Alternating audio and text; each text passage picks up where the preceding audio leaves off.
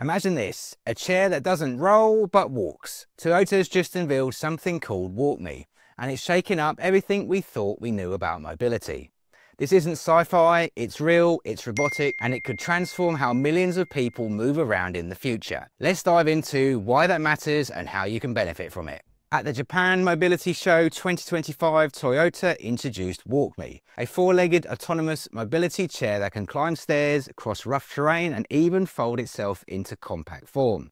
It's designed for people with reduced mobility, but the technology inside hints at much broader possibilities. Instead of wheels, WalkMe walks on four robotic limbs, each with sensors and actuators that adjust to the terrain. Inspired by how animals like goats or crabs navigate uneven ground, when it encounters stairs, the front legs lift first and rear legs push and built-in LiDAR and radar systems map the path in real time. The seat is ergonomic, adapting to the user's posture, with side handles for manual control and voice commands like kitchen or faster for hands-free movement.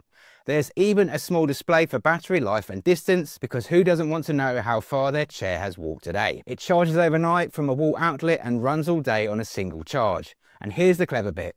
Press one button and it folds itself into a carry-on size within 30 seconds perfect for a car trunk or apartment living. Now this isn't just a cool gadget, it's a glimpse into the next era of human robot mobility. And here's what it can mean for you. Number one, freedom and accessibility. WalkMe breaks the limits of terrain. Number two, business opportunities for US entrepreneurs, consultants and robotic professionals. Devices like this open new markets. Number three, smart environments. As mobility devices become more intelligent, our homes and workplaces will adapt.